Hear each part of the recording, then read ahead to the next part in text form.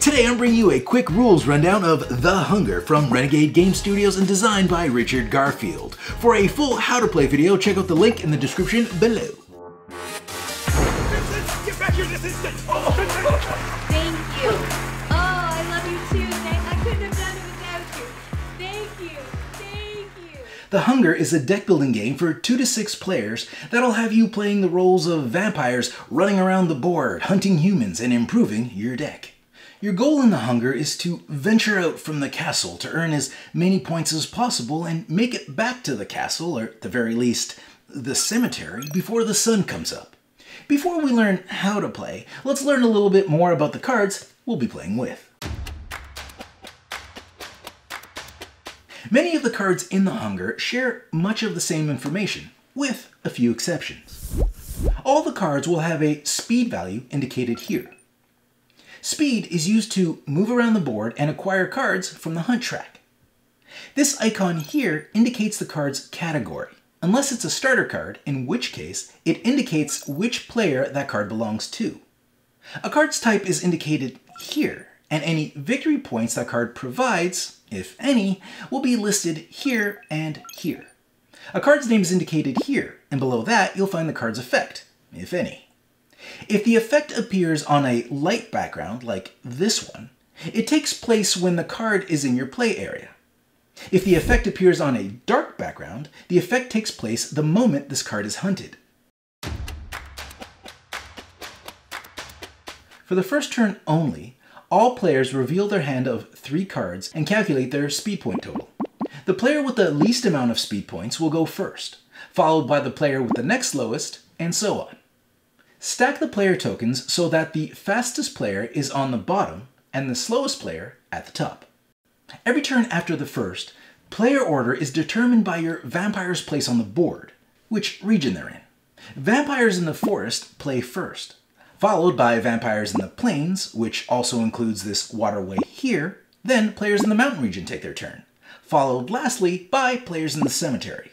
So it basically boils down to the player furthest from the castle goes first.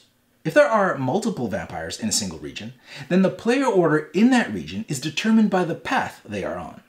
Vampires on the road will play first, then vampires on the railroad, and finally vampires on the boat path. If there are multiple players in the same region and on the same path, then the player furthest from the castle goes first. If the vampires are stacked, then the vampire on top will be the first to go. Once you've taken your turn and done all you're going to do, Flip your vampire token over to its inactive side to indicate your turn is done. Then play passes to the next player furthest from the castle. When your turn comes up, you must play all the cards from your hand and resolve each of them completely, one at a time in whichever order you choose, with a few restrictions. The first thing you need to do before anything else is resolve all your discard and draw effects, which are indicated by these icons here. When selecting which card to discard, it has to be a card that you have not activated. When a card tells you to draw a card, take it from the top of your deck, put it directly into your play area, and resolve it normally. There are a wide variety of card effects that I won't be covering in this video, but you can find a full list of card effects on the back of the rulebook. Okay, so once you've done all your drawing and discarding, calculate the total speed value of all the cards remaining in your play area, including any permanent cards you might have in play.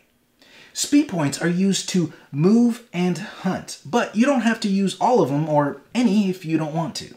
If you're going to move on your turn, which you most likely will if you can, then it needs to be the first thing you do after calculating your speed points. Each speed point you spend will allow you to move one space along the path you're on. If you ever end your movement on a space with one or more other vampires, you have the option of pushing them to an adjacent space. If there's more than one vampire to push, start with the one on top and work your way down. When doing this, you don't have to push them into the same space. The only time you can't push a vampire is if they're in the cemetery or the castle. If you end your movement on a space with one of these board effects, you may trigger that effect. Hunting is how players build up their deck and earn points by essentially purchasing cards from the hunt track. On your turn, you can only hunt once unless a special card effect tells you otherwise. To hunt, choose one card or pile of cards on a single space of the hunt track. The cost of taking the cards in that space is listed here. When you hunt, you must take all the cards in that space and add them to your discard pile. Cards with the ready keyword in bold are the exception. When you hunt one of these cards, you have the option of placing it on top of your deck rather than in your discard pile. You can hunt from pretty much any space on the board with the exception of the castle, cemetery, and these ship spaces. Players who have their vampires on this tavern space also have the option to hunt all the cards at that location for 2 speed points rather than hunting on the hunt track. Anyone who makes it all the way to the labyrinth can choose to take any one of the three eternal roses that grow there.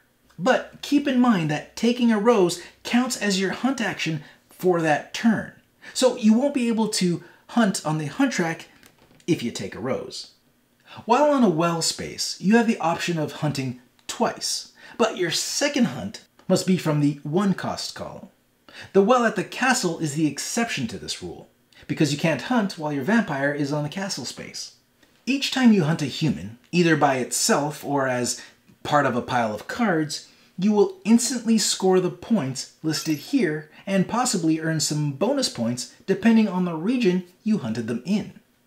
Any human you hunt while in the Plains region will earn you one additional bonus point.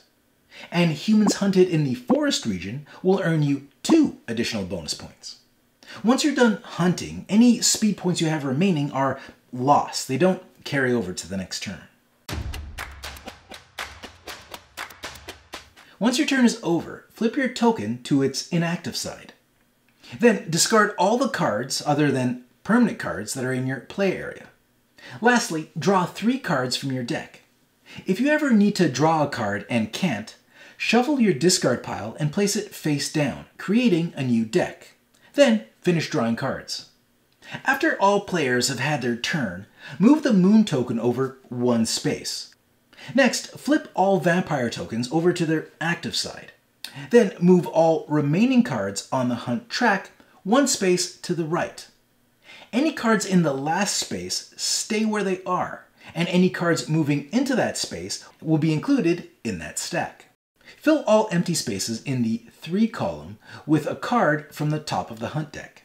And lastly, if there are less than 3 cards on the tavern space and no vampires in that space, add one card from the hunt deck to the tavern. If the moon token is on the 15th space when it comes time to move it at the end of the turn, dawn has come and the game is over. Okay, first things first. Any vampires who have not made it into the cemetery or castle are caught out in the sun and burnt to ash. So, no points for you.